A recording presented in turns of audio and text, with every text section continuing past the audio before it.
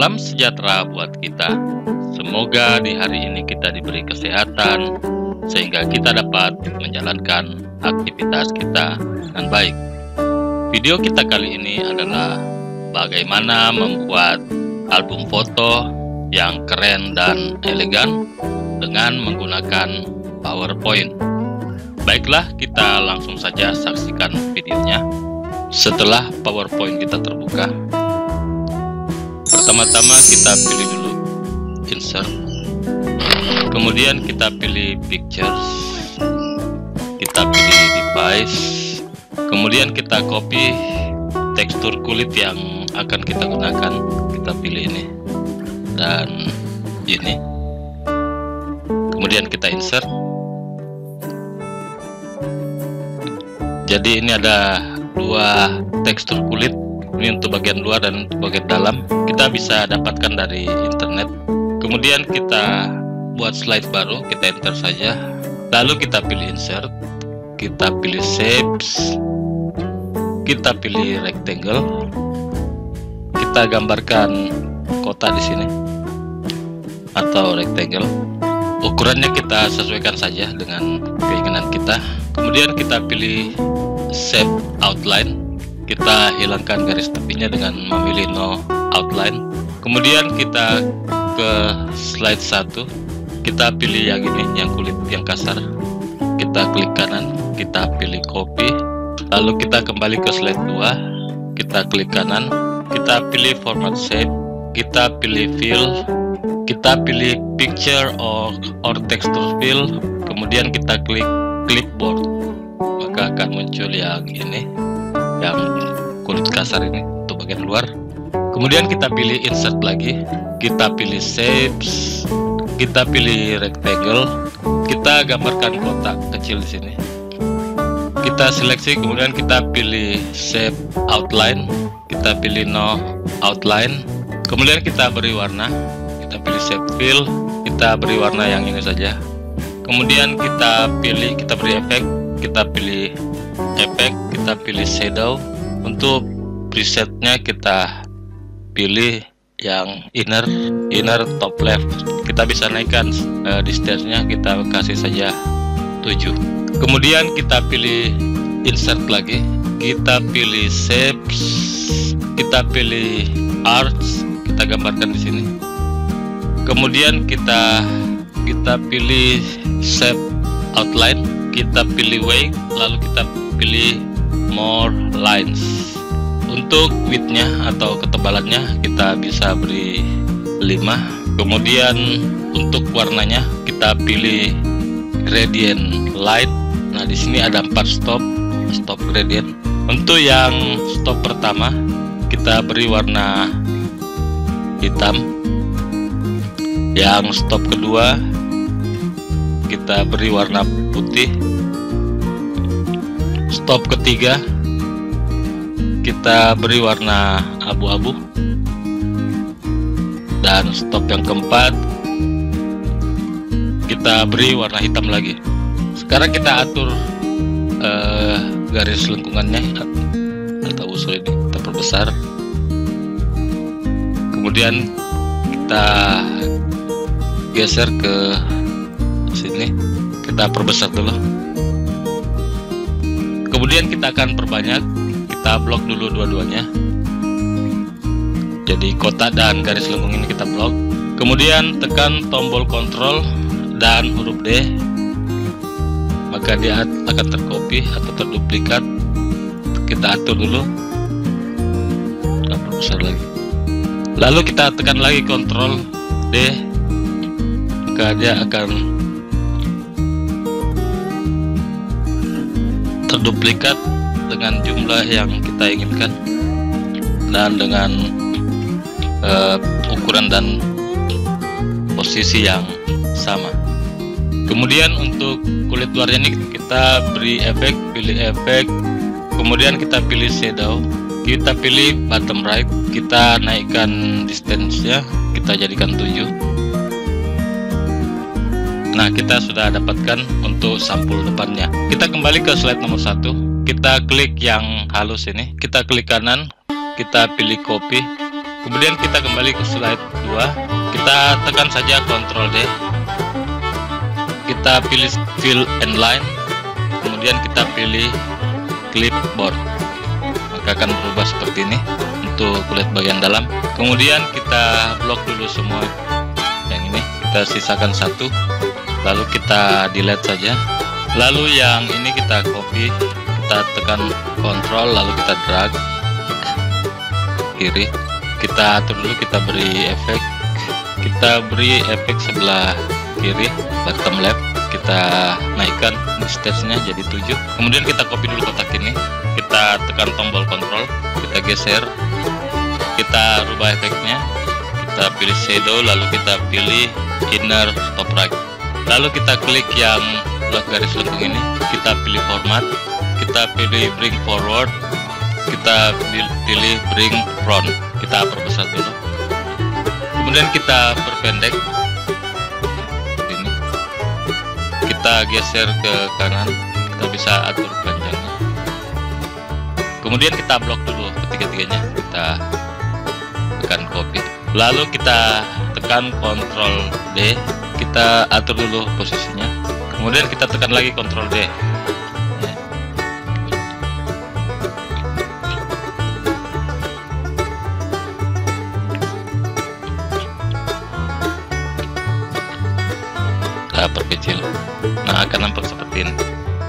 lalu kita pilih lagi insert. Kita pilih shapes. Kita pilih rectangle. Kita gambarkan segi empat di sini. Untuk kertasnya. Kemudian kita pilih set outline. Kita pilih no outline. Kita rubah warnanya. Kita pilih saja set fill. Kita pilih warna sesuai selera kita. Misalnya saya pilih warna yang ini kemudian kita beri efek kita pilih efek kita pilih uh, shadow lalu presets kita pilih yang outer yang ini bottom right kita naikkan distance nya lalu untuk yang ini kita blok saja semua yang untuk kotak dan garis lengkungnya.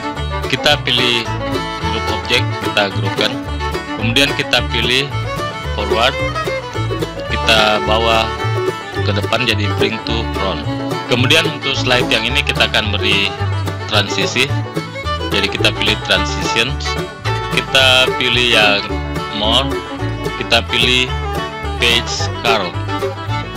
Kemudian kita akan menambah slide-nya kita tekan saja Ctrl D. Lalu kita copy kertas yang ini. Kita tekan saja tombol kontrol lalu kita drag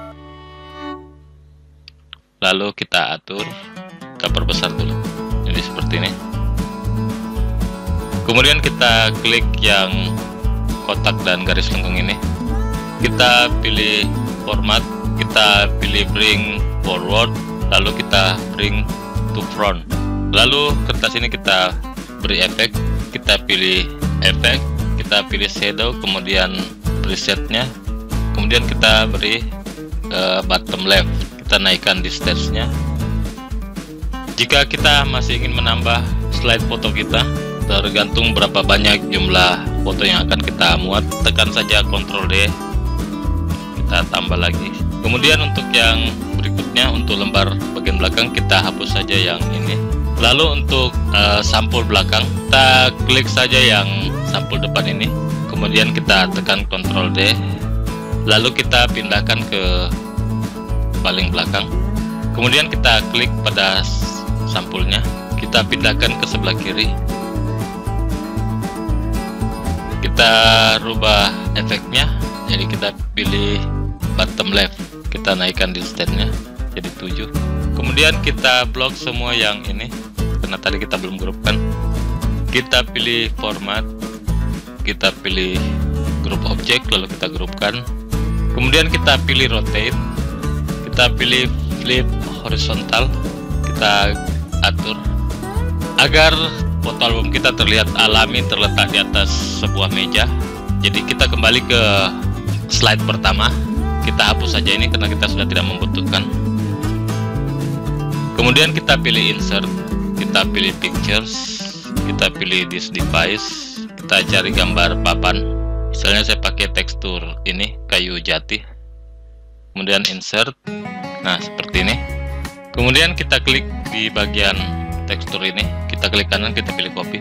Lalu kita seleksi seluruh slide-nya. Kita klik tekan tombol shift. Kita klik semuanya. Kita aktifkan. Kita pilih picture lalu kita klik clipboard. Semua slide sudah agak berubah jadi album kita seolah-olah berada di atas meja. Kemudian kita hapus saja slide pertama karena kita sudah tidak membutuhkan. Kemudian kita akan memberi teks pada sampulnya. Kita pilih saja insert. Kemudian kita pilih word art kita pilih huruf yang kita ingin gunakan atau bentuk hurufnya. Kemudian kita tuliskan teksnya misalnya saya tuliskan nama saya.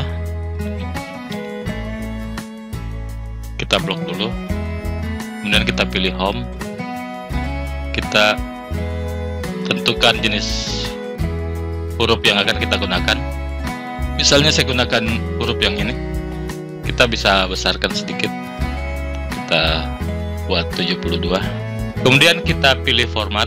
Kita pilih text fill kita beri warna. Misalnya saya beli beri warna orange yang lighter 80% kemudian pilih text effect.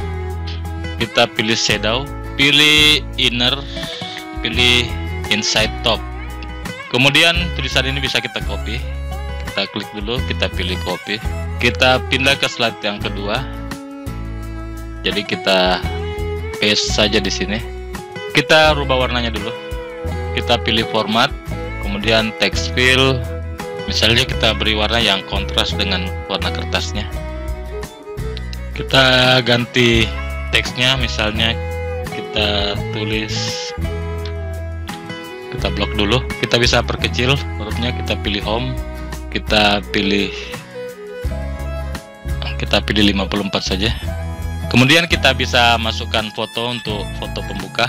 Kita pilih saja insert kita pilih save kita pilih misalnya ini art. Kita gambarkan ini. Kita bisa atur ukurannya sesuai selera kita. Kita mau perpanjang atau berlebar.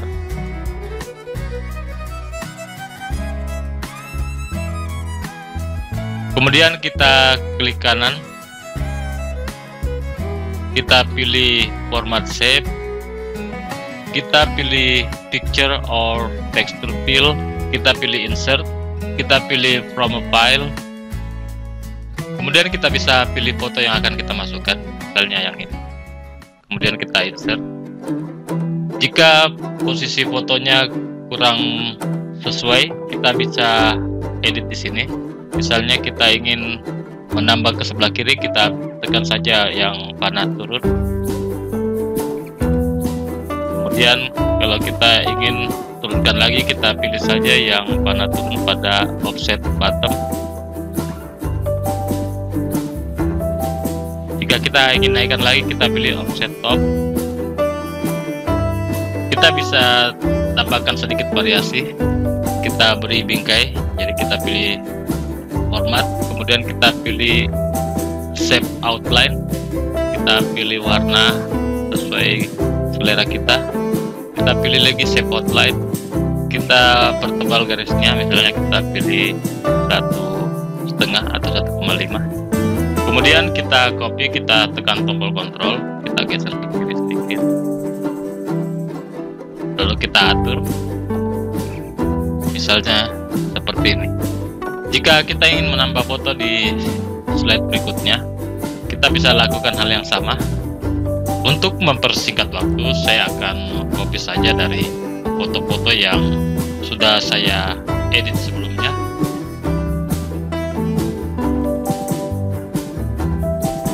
Setelah kita kopikan seluruh foto ke slide-slide kita kita klik dulu di slide pertama kemudian kita copy tulisan yang di depan yang disapul kita klik kanan dan kita copy. Lalu kita pergi ke slide yang terakhir. Kita paste di sini.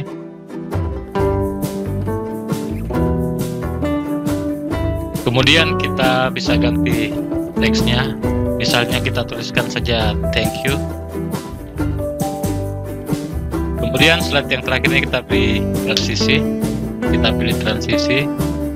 Kita pilih more kita beri background kita kembali ke slide pertama.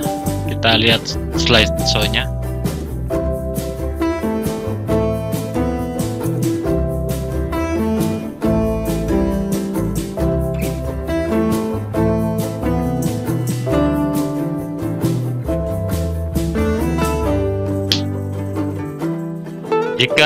ingin menyimpannya dalam bentuk video, pertama-tama kita pilih dulu slideshow, kemudian kita pilih here's timing.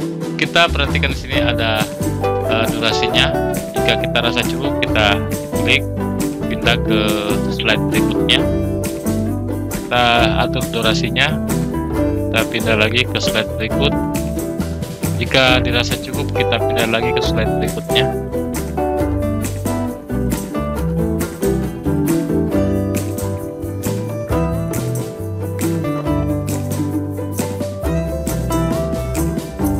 Setelah kita sampai pada slide yang terakhir, maka akan muncul pop-up yang memberitahu durasi keseluruhan dari slide-slide kita. Kita pilih saja yes. Kemudian kita pilih file. Kita pilih export. Kita pilih create video. Kita pilih create video. Kita akan berikan nama untuk file kita. Misalnya saja kita tulis album foto.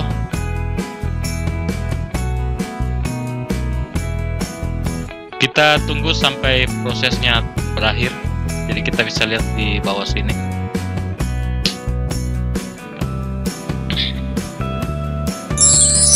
Setelah proses ekspor selesai kita bisa membuka video foto album kita di folder penyimpanan kita.